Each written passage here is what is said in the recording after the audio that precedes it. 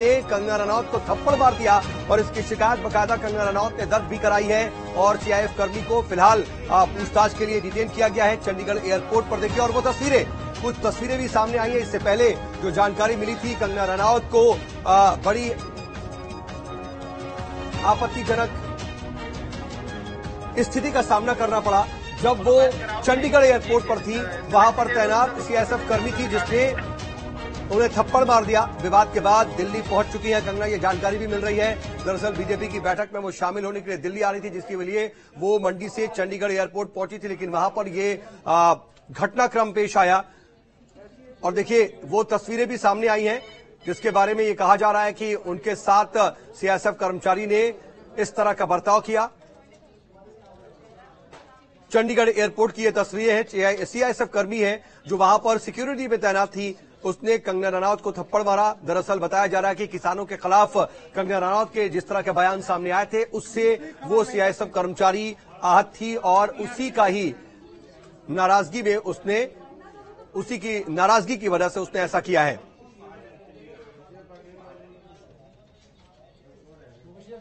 तो किसानों के खिलाफ बोलने पर सीआईएसएफ कर्मचारी ने कंगना रनौत पर थप्पड़ जड़ दिया। कमांडेंट के कमरे में फ़िलहाल सीएसएफ कर्मचारी को बैठाया गया है। उससे पूछताछ हो रही है।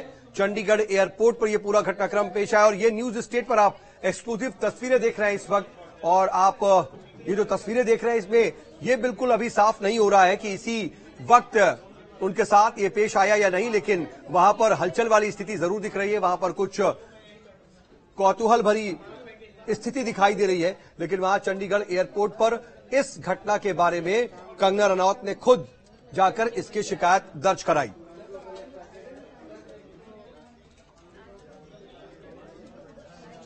और सहयोगी अंकुश महाजन इस खबर पर हमारे साथ, हमारे सहयोगी जुड़ रहे हैं। अंकुश, जरा जानकारी दीजिए, अब कुछ स्पष्ट हो पाया है क्या? वहाँ से क्या जानकारी मिल रही है? क्या हुआ था? बिल्कुल कंगना रनावत, आज मंडी से दिल्ली के लिए रवाना हो रही थी तो उसी दौरान जब वो एयरपोर्ट पर पहुँची और वहाँ पर जब फ्रिस्किंग जोन में वो पहुँची और वहाँ पर अपना मोबाइल वगैरह रखा है और वहाँ तलाशी उसकी ली जा रही थी तो उसी दौरान एक सीआईएसएफ जो कर्मी है, उन्होंने अचानक से जो कंगना रनावत के ऊपर थप्पड़ जड़ दिया और अपना गुस्सा निकाला और ये कहा कि जिस तरीके से तुमने किसान आंदोलन के दौरान जो किसानों के, महिला किसानों के खिलाफ जिस तरीके की बयानबाजी की थी, उससे मैं हाथ हूँ, उसी से की जो बदला मैं ले रही हूँ। तो इस तरीके की बात जो है सामने आई है। उसके बाद कंगना रनावत और उनके जो साथी थे, उनकी ओर से भी जो है उस महिला के ऊपर हाथ, हालाँकि उठाया गया, लेकिन वो पीछे हो गई तो उसके बाद मामला काफ़ी तूल पकड़ता रहा है, जिसके बाद इस महिला जो अधिकारी है, इसको तुरंत जो है, हिरासत में लेकर इसे कमांडिंग ऑफिसर के कमरे में बिठाया गया, जहाँ से इसके, इससे पूछताछ की जा रही है। हालाँकि कंगना रनावत वहाँ से जो एयर विस्तारा की फ़्लाइट से दिल्ली रवाना होगी और हालाँकि वो दिल्ली भी पहुँच चुकी है तो, तो सारी जो घटनाक्रम है तो गया तकरीबन साढ़े तीन बजे के आसपास का है जब कंगना रनावत एयरपोर्ट पहुँची थी और वहाँ से दिल्ली के लिए रवाना होने वाली थी। जी। जरा जानकारी दीजिए कि क्या इस पूरे घटना की कुछ तस्वीरें साफ़ तौर पर सामने आई हैं क्या? कुछ वीडियोस सामने आए हैं लेकिन उसमें कुछ ऐसा साफ़ दिखाई नहीं दे रहा लेकिन वहाँ पर सीसीटीवी कैमरे भी लगे हुए हैं। कुछ इस तरह की तस्वीरें कैप्चर हुई हैं क्या?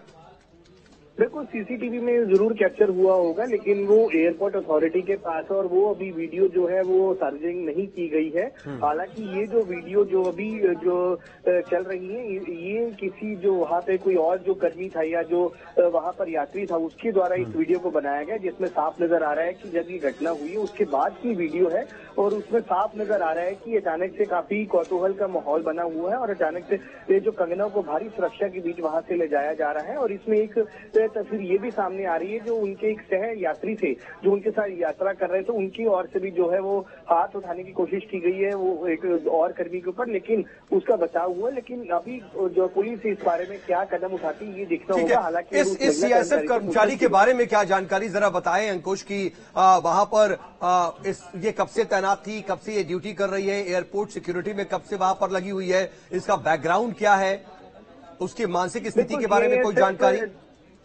जो ये सीएसएफ महिला कर्मचारी, इसका नाम कुलविंदर कौर है, जो कि एलसी है और वहाँ पर जो फ्रिस्किंग जोन जो खास तौर पर एसएचए जो होता है, वहाँ पर ही ये तैनात है और पिछले काफ़ी टाइम से वहीं पर तैनात थी। हालाँकि ये जो बताया जा रहा है, ये कंगना रनावत द्वारा जो बयानबाजी की गई थी महिला किसानों के विरोध में जब पहला किसान आंदोलन दिल्ली में हुआ था तो उसमें जब महिला किसान जहाँ पहुँची थी तो उनके बारे में कंगना रनावत ने यहाँ तक कहा था कि वो पैसे देकर बुलाई गई महिलाएँ हैं। उसके बाद माहौल काफ़ी गरमाया था।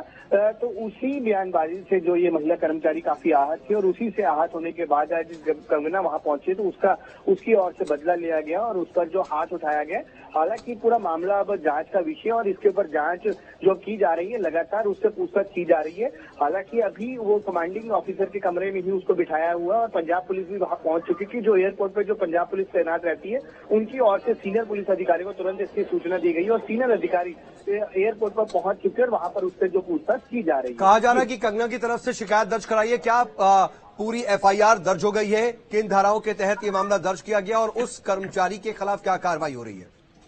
ये देखिए अभी जो है उससे पूछ की जा रही है। हालाँकि अभी कोई मामला जो दर्ज करने की बात सामने नहीं आई है।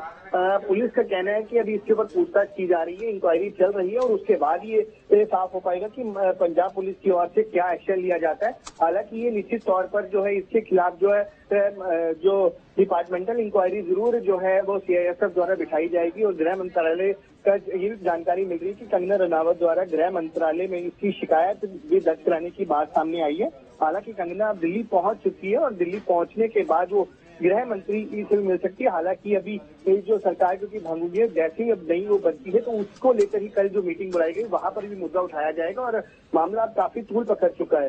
हालाँकि जब कंगना रनावत द्वारा ये जब बयानबाजी की गई थी उसके बाद भी मामला काफ़ी तूल पकड़ा था। और एक बार फिर से ये जो मामला काफ़ी तूल पकड़ता हुआ नज़र आ रहा है। लेकिन अंकुश वैसे देखिए कंगना रनौत अक्सर इस तरह की सुर्खियों में रहती है। कई बार विवादों का भी उन्हें सामना करना पड़ता है। कई तरह के बयानों और कई तरह की घटनाओं की वजह से वो सुर्खियों में और विवादों में रही है। लेकिन यहाँ पर तो कहीं कैसे कंगना की तरफ़ से कोई रिएक्शन नहीं हुआ था। सीआईएसएफ कर्मचारी ने पहले ही इनके किसी पुराने बयान को लेकर के इस तरीके से रिएक्शन दिया। इस पर कंगना रनौत की तरफ़ से कोई ऑफिशियल स्टेटमेंट आएगा क्योंकि हम देख रहे हैं भारी सुरक्षा में वो जा तो रही है लेकिन वहाँ पे कुछ भी